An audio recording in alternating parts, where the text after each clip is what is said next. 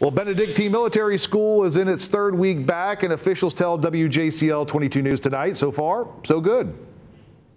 This school year, students are using a blended learning model. Now, half of the students receive in-person instruction three days a week and online learning the other two, while another group learns virtually three days a week and in person the other two.